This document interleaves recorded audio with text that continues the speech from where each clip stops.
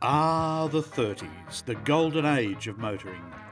In the middle of the worst ever financial crisis, vehicle manufacturers in Europe and America produced some of their most stunning creations. In the United States, it was Cadillac, Pierce Arrow, and Cord.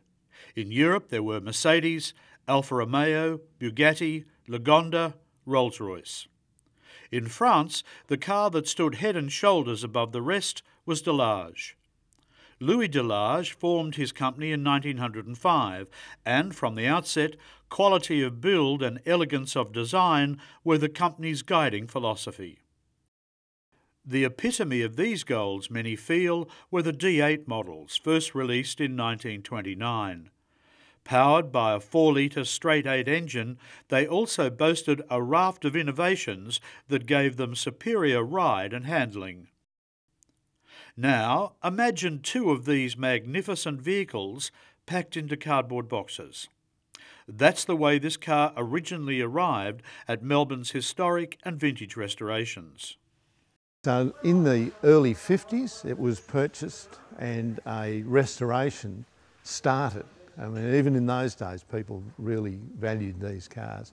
The restoration started and like a lot of these restorations, got to a certain point, the car was then sold. It was in a million pieces, literally pulled down to the last nut and bolt. It went into a, a, a collection um, and sat for years and years and years, disassembled. It was sold at an auction.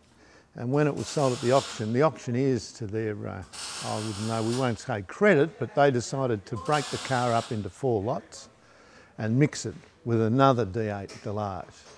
So the owner of the car went to the auction knowing that this was the situation. He had to buy everything that came up.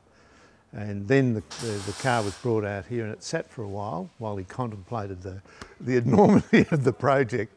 Uh, it was then sold to the current owner and he then commissioned us, first of all, to sort out all the D8S parts, which are the sports part from the standard car, which we did. Um, and uh, then started to put the car back together. There was never any doubt that the restoration project would be worth the effort. This Delage had been an important part of Australia's motoring history.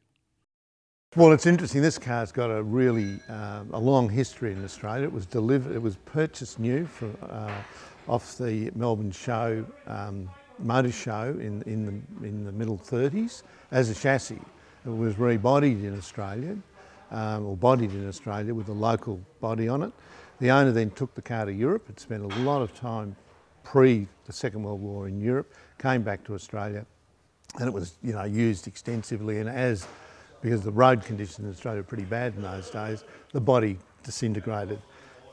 It's taken three years, a great deal of patience and dedication, and a range of craftsmanship and skills that only HVR could pull together to turn the contents of those cardboard boxes into the truly magnificent machine that you see today.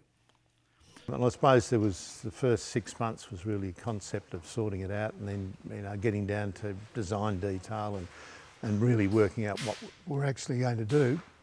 And then there was about two years of full-time work on it.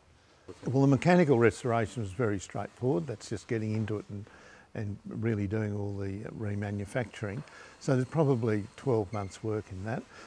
the body work, um, first of all, we needed to, to do the design and the style and um, do all the framework and actually frame it all up so that we knew what, what we're actually making. Then all the panels were made off, off those patterns, I guess the word. So again, there was about probably 12 months work uh, to do that in total.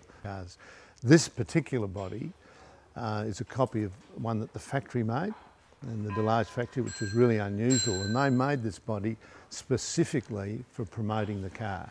And they used this car uh, in trials and in general promotions uh, to, to promote the D8 Delage sports car. While the body of the original car had been all but destroyed, the cardboard boxes from the auction did at least contain many original parts. The original parts that we've kept are all the jewellery. We were lucky that the car came with all of its jewellery. So the headlights, the radiator shell, the, all the fittings on the bonnet, and even the little doors are the original doors off, off the bonnet. The rest of the bonnet we couldn't use because it was too badly damaged. So when you look through the car, uh, it's very much as if it had been delivered from the factory. Everything on the car and, and, and the design detail is exactly the same. And um, the gauges and all the rest of that are No. original, but they didn't look like that, did they, when you got them out of those No, boxes? no, well, they were in a million bits and they'd been lying around, so you could imagine the condition. They were rusty and uh, the faces were completely shot. So we have, refaced them and rebuilt them, but essentially they are the original instruments that would have been in this car. And the dashboard and the controls, um, tail lights, are all original. This particular D8 Delage is actually the S, or sports model, which boasted many innovations over the standard D8, such as different camshaft timing and valve gear, a bigger carburettor, an engine oil cooler, and servo assisted brakes. They were designed for the rich and famous to drive from Paris to Nice flat out, and flat out meant well over a 100 miles an hour.